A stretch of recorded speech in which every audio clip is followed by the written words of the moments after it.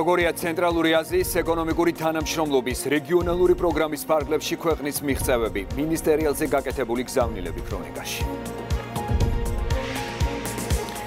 ვინ არიან პოლიტიკოში გამოქვეყნებული სტატიის ავტორები? ქრონიკის მიერ გაშიფრული სკანდალური დეტალები და თემის პოლიტიკური შეფასებები. ეუთოს მინისტერიალის 30000 ხდომა ოფიციალურად გაიხსნა პირდაპირი ჩართვა ჩრდილოეთ მაკედონიიდან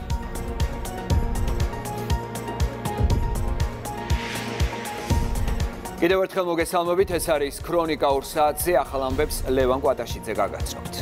პრემიერ-მინისტრი ირაკლი ღარიბაშვილი გაეროს კლიმატის ცვლილებების 22-ვე კონფერენციის მსოფლიო ლიდერთა სამიტში მიიღებს მონაწილეობას, რომელიც წელს დუბაიში ემართება. პრემიერ-მინისტრის სამიტის მონაწილე მსოფლიო ლიდერებს სიტყვით მიმართავს. ირაკლი ღარიბაშვილი ასევე დაესწრება არაბთა გაერთიანებული საამიროების ეროვნული დღისადმი მიძღვნილ ღონისძიებას. გაეროს კლიმატის ცვლილებების სამიტი ტარდება არაბთა გაერთიანებულ საემიროებში, დუბაიში. ღონისძიება უპრეცედენტოდ დიდი მასშტაბის არის. მასში მონაწილეობას იღებს 70000-ზე მეტი უცხო ქვეყნის წარმომადგენელი. რაც მნიშვნელოვანი და მთავარი არის ამ ფორმატის ღონისძიებაში პირველად ფიქსირდება 160 ქვეყნის უმაღლესი წარმომადგენლების მონაწილეობა. ხაზგასასმელია რომ მათ შორის არის სათანადო დონეზე წარმოდგენილი ჩვენი ქვეყანა, საქართველოს დელეგაციას უხელმძღვანელობს საქართველოს პრემიერი ბატონი ირაკლი ღარიბაშვილი. მას ექნება საშუალება მიიღოს მონაწილეობას ყველა იმ ფორმატის შეხვედრაში, რომელიც ჩანიშნული არის ამ ღონისძიების ფარგლებში მთავარი მას მიეცლება საშუალება გამოვიდეს სიტყვით დიდი აუდიტორიის წინაშე. ცენტრალური აზიის ეკონომიკური თანამშრომლობის რეგიონალური პროგრამის ფარგლებში 2016 წლიდან დღემდე საქართველოს დაახლოებით 3 მილიარდი ამერიკული დოლარის ინვესტიციის მობილიზება შეძლო. ეკონომიკური განვითარების ხელშეწყობის ფარგლებში მიღწეულ კონკრეტულ შედეგებზე პრემიერ-მინისტრმა ცენტრალური აზიის რეგიონალური ეკონომიკური თანამშრომლობის მინისტერიალზე ისაუბრა. ირაკლი ღარიბაშვილმა იმ მასშტაბურ პროექტებზე გაამახვილა ყურადღება, რომელიც საქართველოში მიმდინარეობს, მათ შორისაა შავი ზღვის ელექტროკაბელის მშენებლობა და რკინიგზის სექტორის მოდერნიზება. სიტყვით გამოსვლისას პრემიერმა ქვეყნის ეკონომიკურ ზრდასა და კერძო სექტორის კონკურენტუნარიანობის ამაღლებაზე გაამახვილა ყურადღება. შეგახსენებთ 2023 წელს კარეკის თავმჯდომარე ქვეყანა საქართველოა ძირითადი თემა რეგიონში კლიმატის ცვლილებებისადმი მიმართული ღონისძიებების განსაზღვრა. 3 years GDP per capita has nearly doubled ძალიან სასიამოვნოა ყოველას მოგმართოთ ცენტრალური აზიის ეკონომიკური თანამშრომლობის რეგიონული პროგრამის მინისტრთა 22-ე ყოველწლიურ კონფერენციაზე თბილისში. 2023 წელს საქართველოს ჰქონდა ცენტრალური აზიის ეკონომიკური თანამშრომლობის ამ რეგიონული პროგრამის თავმჯდომარეობის პატივი და რადგან ეს წელი მთავრდება, სიამაყით ვაცხადებ, რომ წარმატებით შევასრულეთ ჩვენზე დაგისრებული მნიშვნელოვანი პასუხისმგებლობა. გულწრფელ მადლობას ვუხდი ყველა სახელმწიფო უწყებას და პირს, ვინც ჩართული იყო ამ მნიშვნელოვანი მისიის შესრულებაში.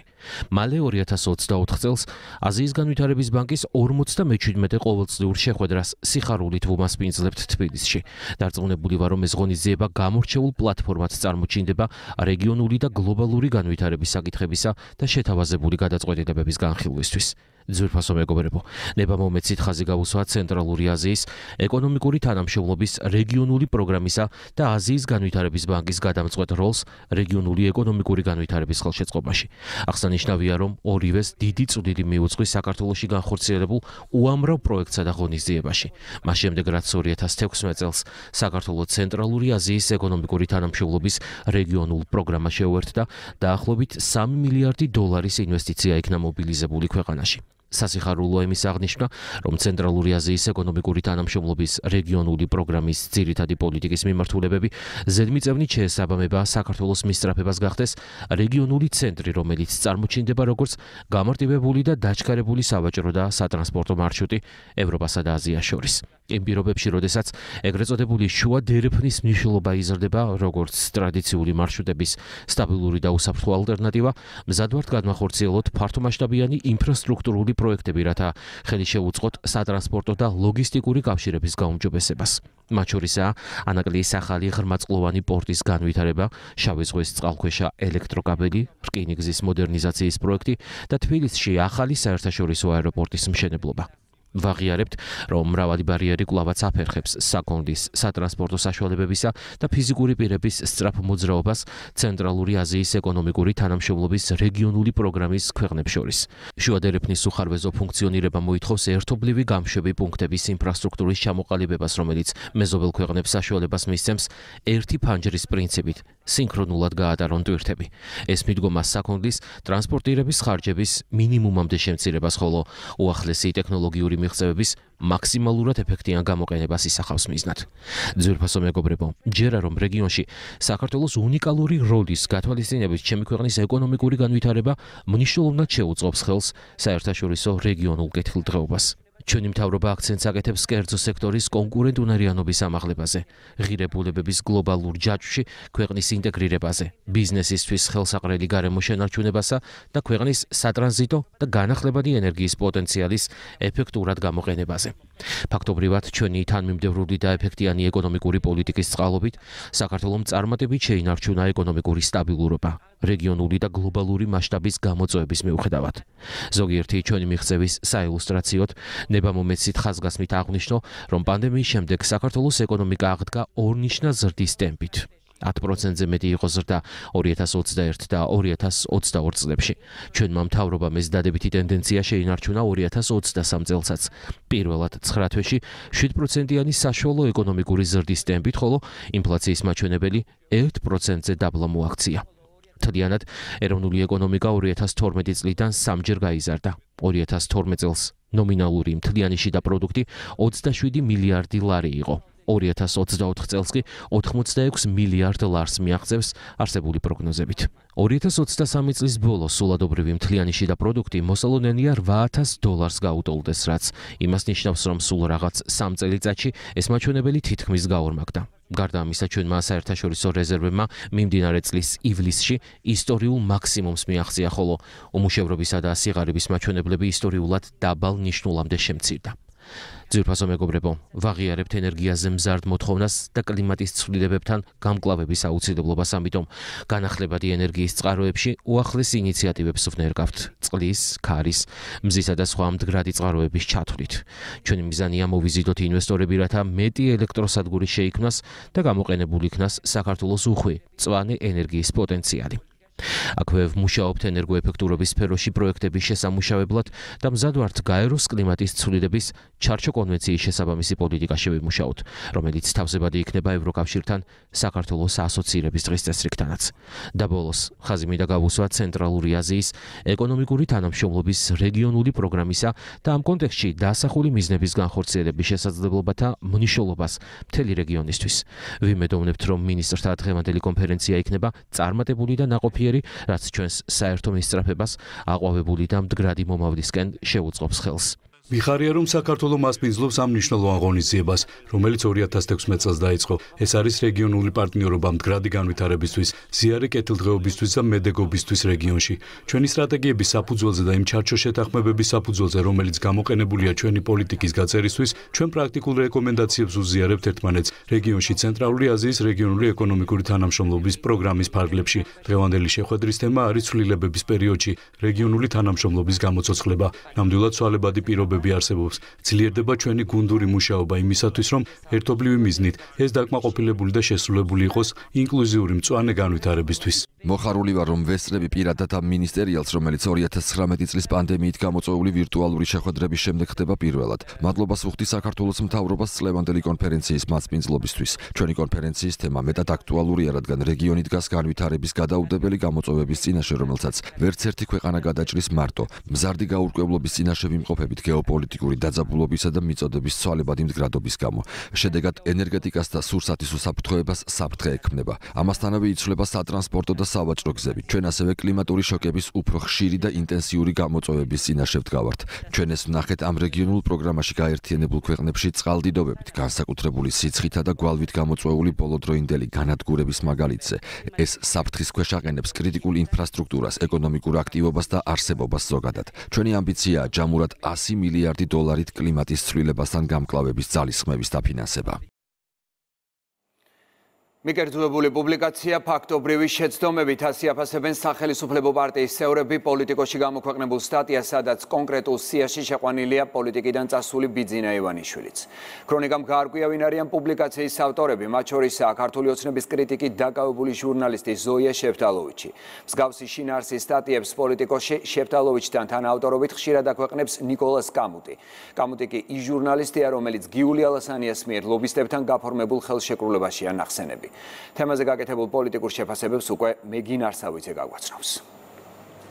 პოლიტიკურ კორუფციაზე საუბრობენ ქართულ ოცნებაში და ამბობენ, რომ ამერიკის იუსტიციის დეპარტამენტის ვებგვერდზე გამოქვეყნებული დოკუმენტებით არაერთხელ გახდა ცნობილი, თუ რა სოლიდური თანხები ხარჯება კონკრეტული სტატიების სანაცვლოდ. მართლ პარტიაში ყურადღებას ამახვილებენ ერთ დეტალზე, რომ ივანიშვილს აკრიტიკებენ ის პირები, რომლებიც საქართველოსში მეორე ფრონტის გახსნას ითხოვდნენ. აქ სახელმწიფო გუნდის წევრები გულისხმობენ ჟურნალისტ ზოია შეფტალოვიჩის პოსტ პოსტ სოციალურ ქსელ ტვიტერში, სადაც მან ირაკლი კობახიძის განცხადებიდან ამონარი ფავორიტი გააზიარა. უფრო კონკრეტულად, გაზიარებული ჰქონდა ქართული ოცნების თავმჯდომარის განცხადება, სადაც ირაკლი კობახიძე ამბობს, რომ უნდა ვკითხოთ ხალხს, უნდათ თუ არა მეორე ფრონტი. ამას ზოია შეფტალოვიჩმა შეიძლება ითქვას, რომ პოზიტიურ კონტექსტში მეორე ფრონტთან დაკავშირებული კომენტარი დაურთო.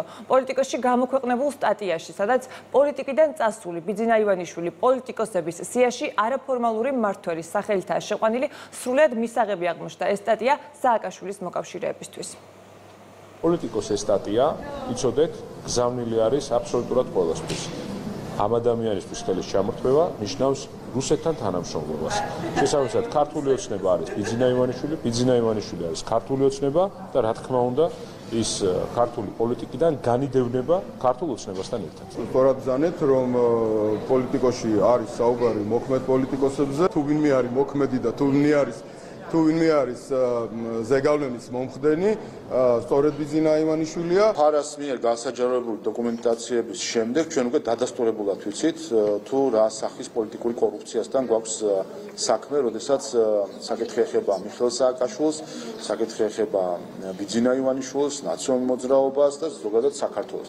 აქ არის პოლიტიკური კორუფცია დადასტურებული, მათ შორის არამხოლოდ ის, რომ მედიაში ხდებოდა შეკვეთილი სტატიების გამოქვეყნება, ეს პირდაპირ ვიცით იმ ანგარიშიდან, რომ შეკვეთილი იყო სტატიები, ასევე ვიცით, რომ ლობისტების მუშაობის შედეგი იყო, რომ ისინი უწერდნენ პირდაპირ რეზოლუციის ტექსტებს ზოგიერთ ევროპარლამენტარს და ევროპარლამენტმა ამ ლობისტების მიერ დაწერილი ტექსტები მიიღო რეზოლუციის სახით, რა თქმა უნდა არის დიდი სირცხვილი, როდესაც რის შედეგადაც პირდაპირ დეзинფორმაცია, ანტიქართული დეзинფორმაცია აისახა ევროპარლამენტარის ევროპარლამენტის რეზოლუციაში. ეჭვები არის რომ ამ შემთხვევაში ჩვენ საქმე გვაქვს გარკვეულ ჯაჭვთან, რომელიც მიგვიყვანს ლობისტებამდე. ამიტომ დაველოდოთ ცოტა ხანი და დარწმუნებული ვარ ფარას შემდეგ დოკუმენტაციაში ასეთ საკითხებიც ამოტვიფრთ. ჩვენ თავიდანვე გამოთქვით ეჭვე, რომ აქ სულთად არ იქნებოდა საქმე. და ყოველ ჯერს როდესაც ასეთი შეგვეთელი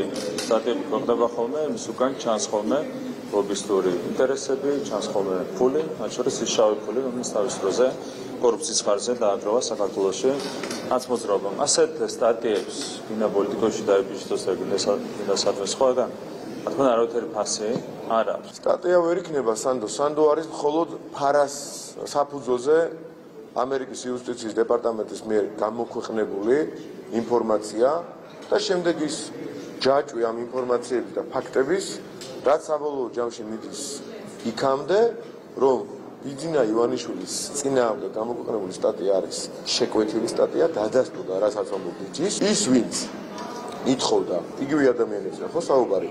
ომს საქართველოში.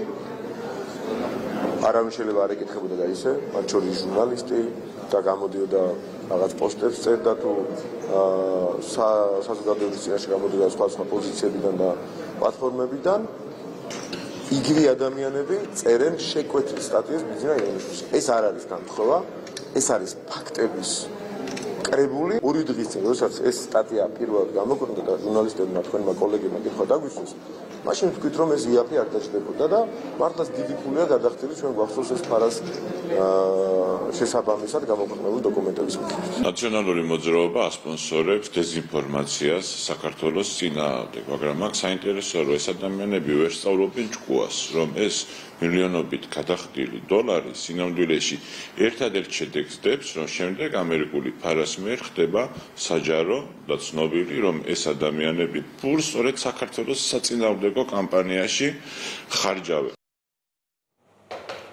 პოლიტიკოში ზოია შეპტალოვიჩთან ერთად სტატიებს ხშირად აქვეყნებს ნიკოლას კამუტის, რომელიც ნახსენებია გიული ალასანიას მიერ ლობისტებთან გაფორმებულ ხელშეკრულებაში. პადლობა მეგი ნარსავიძე იყო ქრონიკის პირდაპირ ეთერში.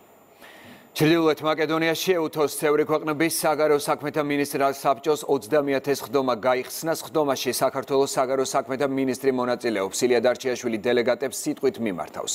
მინისტერიალის ფარგლებში დაგეგმილია დარჩიაშვილის 15-მდე შეხვედრა ევროპელ კოლეგებთან, ასევე ეუთოს ხელმძღვანელ პირებთან. სკოპიაში იმყოფებიან ამერიკისა და ევროკავშირის უმაღლესი პირები. გიორგი აბაზაძე უერთდება ქრონიკის პირდაპირ ეთერს. ლევან ეუთოს 30-ე მინისტერიალზე სიტყვით გამოსვლები დაიწყო ცოტა ხნის წინ. პირველი სიტყვა თქვა ჩრდილოეთ მაკედონიის პრემიერ-მინისტრმა როგორც მასპინძელი და თავმჯდომარე ქვეყნის წარმომადგენელმა ახლა კი სიტყვას ამობენ ეუთოს ხელმძღვანელი პირები. წლევანდელი მინისტერიალის მიმართ ინტერესი არის განსაკუთრებულად დიდი ვინაიდან მას ესწრება რუსეთის საგარეო საქმეთა მინისტრი სერგეი ლავროვი და ამის გამო პროტესტის ნიშნად ბოიკოტი გამოუცხადა მინისტერიალს უკრაინამ ხოლო უკრაინას სოლიდარობა გამოუცხადა ბალტიის ქვეყნებმა და ისინიც არღებულობენ მინისტერიალში მონაწილეობას 57 ქვეყნის საგარეო საქმეთა მინისტრები კი მეზობელ რეგიონებში, ასევე ევროპაში არსებულ მნიშვნელოვან საკითხებზე გაამახვილებენ ყურადღებას, მათ შორის იქნება მიგრაციის საკითხები და უკრაინის ომი. საკუთარ სიტყვას იტყვის საქართველოს საგარეო საქმეთა მინისტრიც ილია დარჩიაშვილის სიტყვა შედგება დაახლოებით თბილისის დროით 19 საათზე ის ყურადღებას გაამახვილებს საქართველოს ოკუპირებულ რეგიონებში არსებულ ვითარებაზე და საერთაშორისო მხარდაჭერის მნიშვნელობაზე. ვიდრე სიტყვით გამოვა ილია დარჩიაშვილი მან ქართულ მედიასთან გააკეთა კომენტარი და აღნიშნა რომ ეს პლატფორმა მნიშვნელოვანია საქართველოს საქართველოსთვის, ვინაიდან იგი იყენებს ამ პლატფორმას სამჯელოთ იმ საკითხებზე, რომელიც აწუხებს ქვეყანას. ეუთო ზოგადად არის უნიშნულოვანი ღონისძიება, ჩვენ გვაქვს მრავალწლიანი ძალიან მნიშვნელოვანი თანამშრომლობა საქართველოს საგარეო პოლიტიკურ პრიორიტეტებში ამ ორგანიზაციას აქვს განსაკუთრებული როლი, შესაბამისად ჩვენი აკოპნე მნიშვნელოვანია. აქ არიან ორგანიზაციის წევრი ქვეყნის საგარეო საქმეთა მინისტრები და ეს არის პლატფორმა, რომელსაც ჩვენ ვიყენებთ იმ გამოწვევებზე სასაუბროთ, რომელიც დღეს ქვეყანას აქვს. შესაბამისად, ეს არის ჩვენი მთავარი мотиваცია, რომ ჩვენს პარტნიორების მეტი მობილიზება მოვახდინოთ და ვისაუბროთ გამოწვევებზე, რომელიც არის რეგიონში და რომელიც აქვს ჩვენს ქვეყანას. ცოტა ხნის წინ ცნობილი გახდა რომ ხვალ სესიაზე დამტკიცდება საქართველოს მეგობართა ჯგუფის ჩვენი ქვეყნის მხარდამჭერი განცხადება. ეს იქნება 11 საათზე რომელსაც წაიკითხავს ნორვეგიის წარმომადგენლობა რაც შეეხება საქართველოს საგარეო საქმეთა მინისტრის მონაწილეობას. მინისტერიალში ილია დარჩიაშვილს ჰქონდა ორმხრივი შეხვედრები და ჯამში დაგეგმილია 15-მდე შეხვედრა ქვეყნის პირველი დიპლომატის როგორც ევროპელ კოლეგებთან ასევე ეუთოს ხელმძღვანელ პირებთან. ეს იყო პირდაპირ ჩართვა სკოპიედან და გიორგი აბაზაძე ეუთოს მინისტერიალში საქართველოს საგარეო საქმეთა მინისტრის მონაწილეობას აპროტესტებს ოპოზიცია სახელმწიფო პარტიის ოპონენტებისთვის მიუღებელია. იმ ღონისძიებაში მონაწილეობა რომელსაც რუსეთის პირველი დიპლომატი ესწრება. ოპოზიციაში გაკეთებულმა განცხადებებმა კი ქართული ოცნების ლიდერებს წარსული გაახსენა კერძოდ ეუთოს ერთ-ერთი სამიტი რომელსაც ქვეყნის საგარეო საქმეთა მინისტრთან ერთად მაშინ ყოფილი პრეზიდენტი მიხელ სააკაშვილიც დაესწრო. ლევან ფოჩხუა გაგვაცნობს სამიტის პარალელურად თბილისში გაკეთებულ განცხადებებს დიახ, ამ ხრივ განსაკუთრებით აქტიურობს ნაციონალური მოძრაობა, რომელიც მომხრია, რომ საქართველოს ბალტიისპირეთის ქვეყნების მსგავსად უარი უნდა ეთქვა იმ ღონისძიებაში მონაწილეობაზე, რომელსაც რუსეთის ფედერაციის წარმომადგენელი ესწრება საგარეო საქმეთა მინისტრის დონეზე.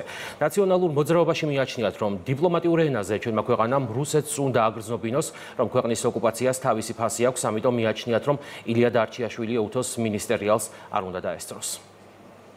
1992 წლიდან მოყოლებული გვაქვს ამდენი ტერიტორია ოკუპირებული და მას კიდევ დამატებული ოკუპირებული ტერიტორიები 2008 წლიდან დაემატა, ხო? და ამ ვითარებაში, როდესაც უკრაინა, ბალტიის სახელმწიფოები პირადად ლავროვის მონაწილეობას უცხადებენ ბოიკოტს და თავისი დიპლომატიური დემარშით აჩვენებენ მიუღებლობას პუტინის რეჟიმისა მათთვის შეუძლებელია რომ ქართული სახელმწიფოს წარმომადგენელმა როგორც მინიმუმ იგივე არ გააკეთოს თუ მეტი არა შვიდობიანი სხვა მეთოდებით მაინც ხო უნდა იგზნოს რუსეთმა რომ საქართველოს ტერიტორიების ოკუპაციას რაღაც ფასი აქვს ნაციონალურ მოძრაობას რომ წარსული დაავიწყდა და არსებულ პოლიტიკურ მოცემულობას საკუთარი ვიძრო პარტიული ინტერესებისთვის იყენებს ეს ოპონენტებს მართველი გუნდიდან შეახსენეს. ამის მაგალითად პარლამენტის თავმჯდომარე მოიყვანა 2010 წელს ასტანაში გამართული ევთოს სამიტი სადაც მონაწილეობა მიხეილ სააკაშვილმა და მაშინდელმა საგარეო საქმეთა მინისტრმა მიიღეს. ეს იმ დროს როცა აღონიზებას არა მხოლოდ რუსეთის საგარეო საქმეთა მინისტრი არამედ ქვეყნის მაშინდელი პრეზიდენტიც ესწრებოდა ეს ყველაფერი კი აგვისტოს სომიდან 2 წლის შემდეგ ამიტომ უმრავლესობის ლიდერები აცხადებენ რომ საქართველოს ხელი ხელისუფლების პოლიტიკა არის თანმიმდევრული და ყველაფერი კეთდება ოკუპირებული ტერიტორიების არაღიარებისა და დეოკუპაციის პოლიტიკის მიმართულებით. ხო ნორმალურია, როდესაც კონკრეტულ კონისიებას ესრებიან ლინკენი, ბორელი, სხვა ევროპელი ლიდერები, იქ აბსოლუტურად ლოგიკურია საქართველოს საგარეო საქმეთა ministris მონაწილეობა. ხო კითხვებიც არ არის ობიექტურად, მაგრამ ნოაქაც კი ვიღაცები ახერხებენ სპეკულირებას. რაც შეეხება იმ ქვეყნებს, რომლებიც დაასახელეთ, მე მინდა მათ ურჩიო რომ ჯერ 4ჯერ ნაკლები ღვინო აღიდონ რუსეთში ვიდრე საქართველოს და მე ისაუბრონ რაღაც მონიციპებში მონაწილეობა არ მონაწილეობაზე ეს არის ხო ორმაგი სტანდარტია კონკრეტული ქვეყნები 4ჯერ მეტ ღვინოსთან ღვინის წარმოებით არ არიან ეს ქვეყნები დაკავებული და ჩვენზე 4ჯერ მეტ ღვინოს ყიდიან რუსეთში ეს ხო არის ნამდვილად რომ ვთქვა ორმაგი სტანდარტი 2010 წელს სამიტში მონაწილეობას იღებდნენ მიხელ სააკაშვილი და გრიგოლ ვაშაძე, მაშინ საგარეო საქმეთა მინისტრი. იმ პირობებში, როდესაც ომიდან გასული იყო 2 წელი და იღებდნენ ასტანის სამიტში, სადაც მონაწილეობას იღებდა არამხოლოდ ლავროვი, მათთვის საქართველოს ოკუპაცია არ დაწყებულა 2008-ში, არამედ 2022 წელს გაახსენათ, მას რომ საქართველოს არის ოკუპირებული. მანამდე ყოველს გვახსოვს რა იყო მათი პოლიტიკა პოლიტიკა იყო ვიზების გაუქმება, პოლიტიკა იყო საზღვარზე რუსი ტურისტების შეგებება, პოლიტიკა იყო ის, რომ ერთადერთი ბერკეტი, რომელიც საქართველოს ჰქონდა რუსეთთან მიმართებით, სოფლიო სავაჭრო ორგანიზაციაში წევრობა, ეს ერთადერთი ბერკეტი დათმეს. საერთოდ გასაკვირია არის, მიხელ სააკაშვილი დღემდე არის უკრაინის მოქალაქე. ამიტომ ახლა ისინი რომ საქართველოს ინტერესებით არ მოქმედებენ და მიხელ სააკაშვილი უკრაინის გადასახედიდან უყურებს ამ საკითხს, ესეც არ არის გასაკვირი. მაშინ როდესაც ჩვენი სტრატეგიული პარტნიორები ძალიან ბევრი ქვეყანა. ცივილიზებული სამყაროს ძალიან ბევრი ქვეყანა. იქ არის პირველი პირების დონეზე წარმოქმნილი და საქართველოს საგარეო საქმეთა სამინისტრო და მინისტრის აკრიტიკებენ. აი ეს ორმაგი სტანდარტიც არ არის. უბრალოდ გასროლილი ერთ-ერთი ნეგატიური მესიჯია იმისათვის, რომ კიდევ ვიღაცები დაარწმუნონ, რომ ხალავროვთან ერთად ჩადის მაინდამაინც ლავროვი როა, შეიძლება ისიც თქვა, რომ თქვენ რომ ბაურობი რომ არ იყოს არ ჩავდივარ. ამბავია ჩვეულებრივ ეუჭოს ფორმატში სხვა სხვა სახელმწიფო მათ შორის ოკუპანტი სახელმწიფოს ლიდერიც სისხლმე და სამწუხარო რეალობა ის რომ უწევს სიგრძნობა მის პირისპირ თუ ამ საერთო ფორმატში ოკუპირებული სახელმწიფოს წარმომადგენლებსაც, მაგრამ ამ ფორმატს რაში იყენებ, როგორ იყენებ, რა ახმესიებს ახმოვანებ, რა პრაგმატული საშენო საქმეყნო ეროვნული საკითხები დგება ხოლმე და რა შეიძლება გადაწყდეს და რაში გადგება ეს ფორმატი მეორე საკითხია, მაგრამ აბსოლუტური უბინძურესი სპეკულაცია ის ამბავი, რომ ლავროვთან ერთად ზის ოპოზიციამ სადა ჭექაში პატარა ნიავის მოწყობა, თუმცა ესეც კი არ გამოუვიდა. კარგია, რომ ეს ადამიანები არ არიან ხელისუფლებაში და არათუ ხელისუფლებაში, გავლენას კი არ აქვთ არანაირი ხელისუფლების გადაწყვეტილებებზე, თორემ მათზე რომ ყოფილიყო გადაწყვეტილების მიღების პასუხისგებლობა ალბათ საქართველოს დღეს იქნებოდა სულ საერთაშორისო იზოლაციაში. არც მინისტერიალში მიიღებდნენ მონაწილეობას, ევროკავშირში შესვლასაც დაბლოკავდნენ, რაც შეეხება ჩვენი საგარეო საქმეთა მინისტრის განცხადებას, ის გამოხატავს საქართველოს ეროვნულ ინტერესებს ამ მინისტერიალზე და ასევე საქართველოს საერთაშორისო და საგარეო პოლიტიკურ დღის წესრიგს, რაც გულისხმობს ევროპულ და ევროატლანტიკურ ოჯახში გაწევრიანებას. შეგახსენებთ, რომ ეუთოს მინისტერიალი, რომელიც ჩრდილოეთ მაკედონიაში იმართება, მრავალი ევროპული ქვეყნის პირველი დიპლომატი ესწრება.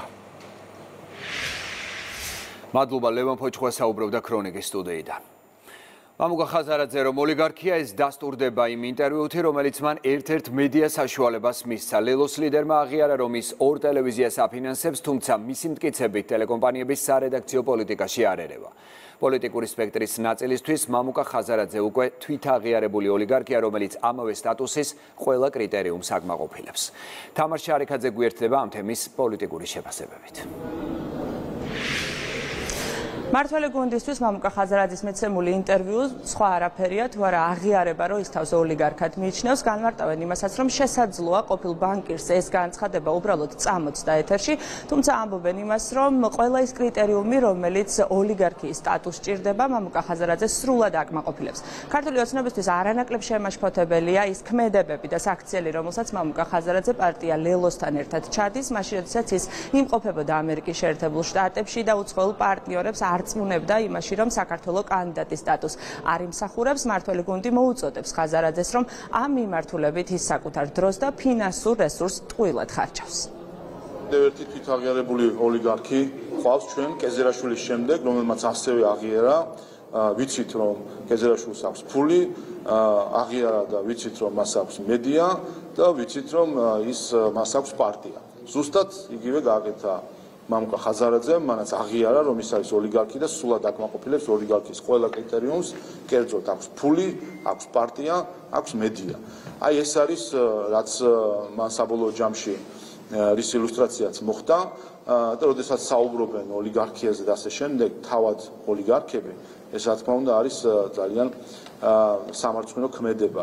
და გარდა ამ ოლიგარქიისა სხვა პრობლემებიც აქვს ლელოს რა თქმა უნდა უპირველეს ყოვლისა ამის წინაშე ამას წინაშე თქვით და ესეც არის ორგანიზაცია რომელიც არ უყურებს ეროვნულ ინტერესებს რომელიც იყურება სხვა დედაქალაქებისკენ ხედავ ჩვენ ნახეთ ჩვენ როგორ ქონდათ მათ ასე ვთქვათ, ვიზიტი ამერიკის შეერთებულ შტატებში და თავს იწონებდნენ, რომ იქ აბეზღებდნენ ქართველებს, რომ სანქციები დაუწესონ ქართველებს, მოიჩილონ კონკურენტები, სხვისი ხელით, სხვა ქვეყნის ხელით მოიჩილონ კონკურენტები, რომ სახელმწიფო ბერკეტები მიიღონ. ეს არის სუფთა კომუნისტური საბჭოთა აზროვნება. მათთვის მოსკოვი დღე შეიცვალა სხვა დედაქალაქებით. კეზერაშვილის შემდეგ ჩვენ გვაქვს უკვე მეორე თვითაღიარებული ოლიგარქი, ისაც ყველა მიცოდა რომ ხაზარაძე იყო ოლიგარქი, ბუნებრივია, თუმცა ეს იყო პირდაპირ აღიარება იმისა, რომ მას გადამისა რომ აქვს პოლიტიკაზე პირდაპირ გავლენა, საკუთარი პარტია აქვს შექმნილი, ამის გარდა აქვს პირდაპირ გავლენები ტელევიზიებზე. ამის მიღმა, რაც მას ჯერჯერობით არ აღიარებია, არის ტელეკომპანია მთავარზე გავლენა, ხო? კიდევ ერთხელ შემიძლია გაგიზიაროთ ის ინფორმაცია, რაც გვაქვს. ის უხდის თვეში 200.000 ლარს ტელეკომპანია TV პირველს და უხდის 240.000 ლარს ტელეკომპანია მთავარს. ის ხარჯზეც აქვს უზრუნველყოფილი გარკვეული დაფარვა ამ ტელეკომპანიებში, რაც მას შეთანხმებული აქვს კეზერაშვილთან, ნაცმოძრაობის ლიდერებთან. ეს არის კოლექტიური ნაცმოძრაობის სქემა. ესეთი წამოწმენები ძალიან კარგია, იმიტომ რომ რაღაცა სიმართლე რომ არსებობს ბუნებაში ეს სიმართლე არ იმალება. შემოეღიარა ხელში, რომ ის არის თვითგამოცხადებული ოლიგარქი და ამ ადამიანს მარტო ეს ეს ყველაზე მძიმე სოდო ოღონდ არ არის. ეს ადამიანი არის ჩვეულებრივი ნაცი ოლიგარქი, იქიდან გამომდინარე რომ მას აქვს მიღებული მონაწილეობა ნაცმოძრაობის მიერ აა იმ ცხაწლის განმავლობაში სერიოზულ რეკეტში. დღეს საბოლოოდ გაფორმდა ის სლოგანი, რომელიც აქვს კოლექტიურ ნაცმოძრაობას, ეს არის ფული პარტია მედია. ანუ რეალურად ეს არის რიგით მეორე აღიარება უკვე რადიკალური ოპოზიციის ლიდერებისგან დავით კეზერაშვილის შემდეგ უკვე კიდევ ერთი ადამიანი ამბობს რომ ის ჩარეულია მედიის მართვაში ამის გარდა ვიცით რომ ის პარტიულ საქმეში პირდაპირ არის ჩართული და ვიცით რომ მას ასევე აქვს ჭარბი ფინანსური რესურსიც. ამით დასტურდება ერთადერთი და დღის სინათლეზე გამოვიდა სიმართლე. თუ რატომ დაუპირისპირდა კოლექტიური ნაცმოძრაობა რადიკალური ოპოზიცია და მათ შორის ლელო თავის დროზე დეოლიგარქიზაციის კანონს ასე კატეგორიულად მართველი გუნდის მსგავსად მამუკა ხაზარაძე ოლიგარქია ოპოზიციის ნაწილისთვისაც იაგო ხვიჩია ამბობს რომ ყოფილ ბანკირს შეეძლო რომ მისი ფინანსური რესურსი გამოეყენებინა მედია საშუალებებში იმისათვის რომ ზოგადად ოპოზიციური სპექტრი ყოფილიყო გაძლიერებული თუმცა მამუკა ხაზარაძემ მისი ფინანსები ლელოს გასაპირებლად გამოიყენა.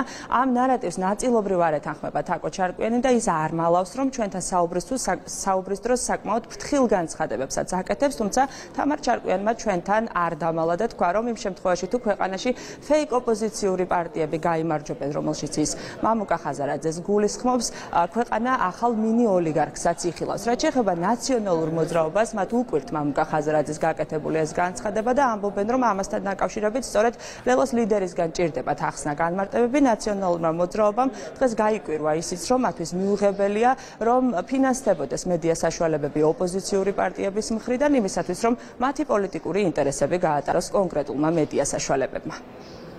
ლელოს მოჭარბებული გავლენაა ორ ტელევიზიაზე და ფაქტობრივად პარალიზებულია პოლიტიკური ток-შოუებისთვის და დისკუსიებისთვის ორი ოპოზიციური ტელევიზია. ამაზე მავნებლურ საქმეს ლელო ვერაფერს ვერ გააკეთებდა ჩემი აზრით. ნაცვლად იმისა, რომ ამ ტელევიზიებისთვის ფული გადაეხადა იმაში, რომ მართლა პოლიტიკური დისკუსიები დაწყებულიყო და ჩვენ არსებით საკითხებზე გველაპარაკა, ლელოს შემწეობით ფაქტობრივად პარალიზებულია ორი ტელევიზია და იქ გადის ლელოური ამბები.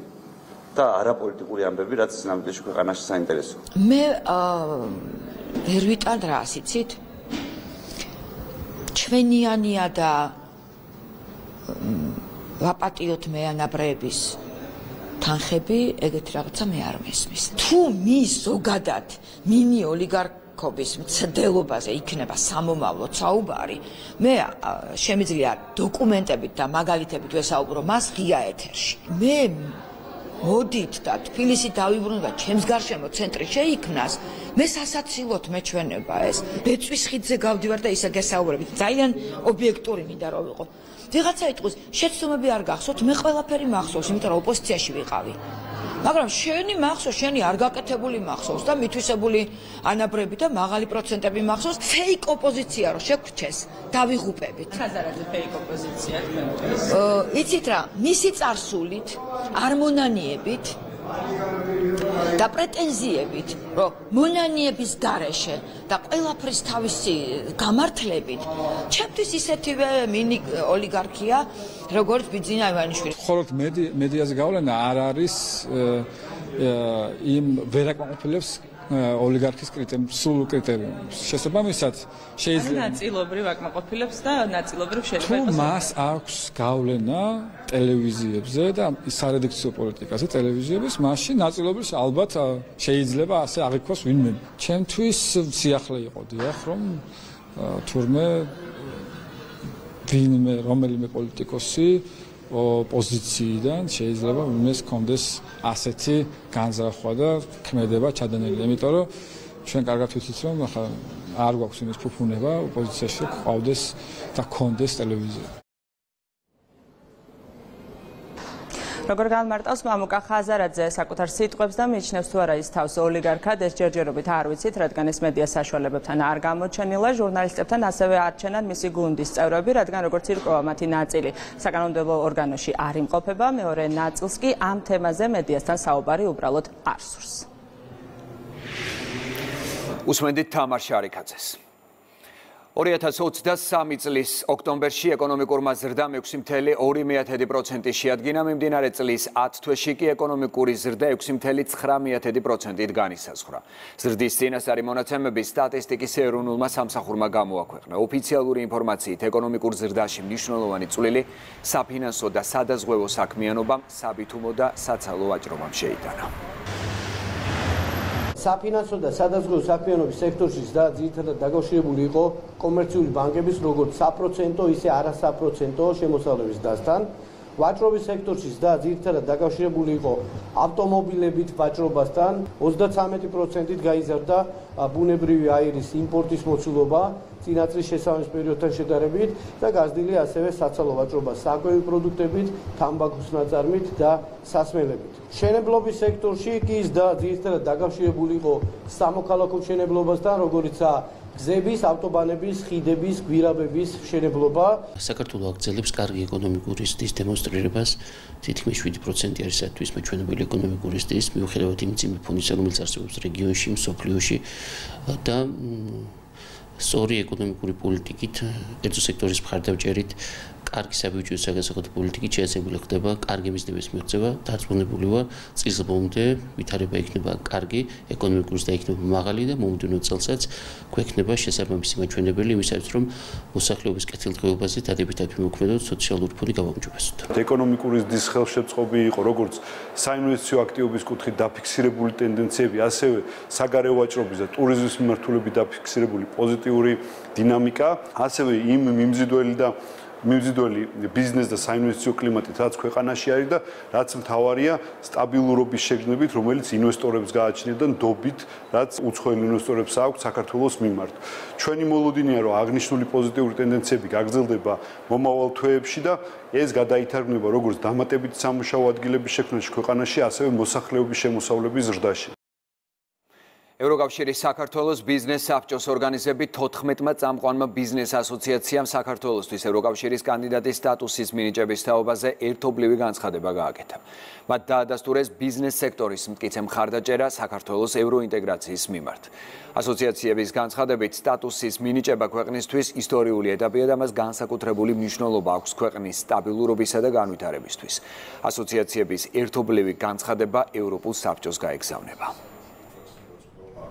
სტატუსის მინიჭება საქართველოსთვის არის ერთ-ერთი უმნიშვნელოვანესი ისტორიული ეტაპი და განმაპირობებელია სტაბილურობის, განვითარების და წინსვლის. ჩვენ რეგიონში ჩვენ ხვდებით ერთ-ერთი ისედაც ვართ, მაგრამ უფრო გაძლიერებულად ხვდებით ერთ-ერთი მნიშვნელოვანი მოთამაშე აზერბაიჯანისთვის და სომხეთისთვის, ასევე მნიშვნელოვანი მოთამაშე ხვდებით ცენტრალური აზიის ქვეყნებისთვის, შუა კორიდორისთვის. განსაკუთრებით ბიზნესისთვის არის ეს მიმაჩნია ძალიან მნიშვნელოვანი საქმიანი წრეებისათვის, იმიტომ რომ ჩვენ გვეხსნება უამრავი ახალი შესაძლებლობა, გვეხსნება ძალიან დიდი ბაზარი და გვეხსნება იმის თქვა მეტი შესაძლებლობები რომ მოხდეს ევროპული კაპიტალის შემოდინება საქართველოსში, სუბთაფულის შემოდინება.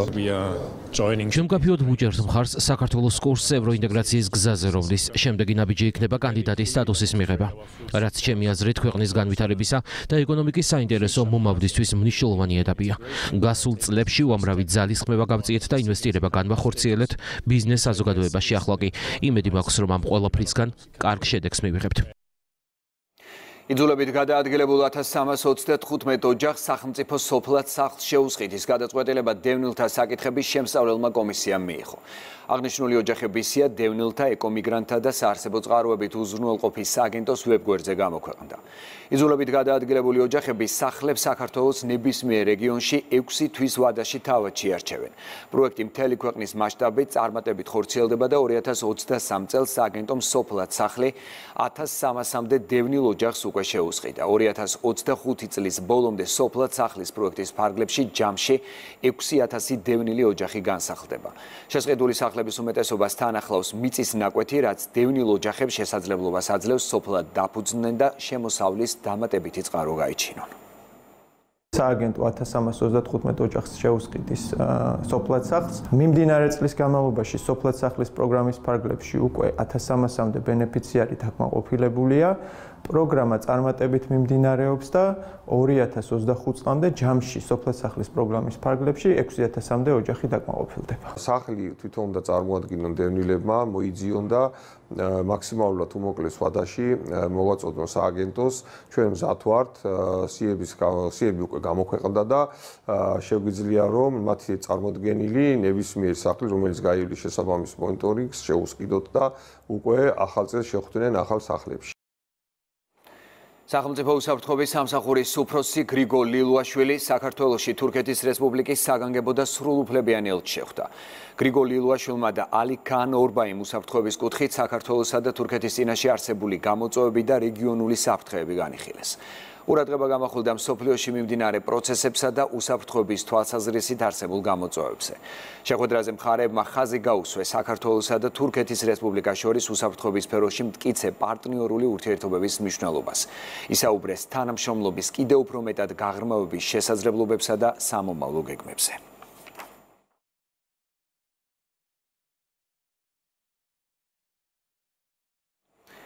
შინაგან საქმეთა სამინისტროს საგანგებო სიტუაციების მართვის სამსახურს ამერიკის ელჩი ეწვია რობინ დანიგანმა საგანგებო სიტუაციების მართვის სამსახურისთვის.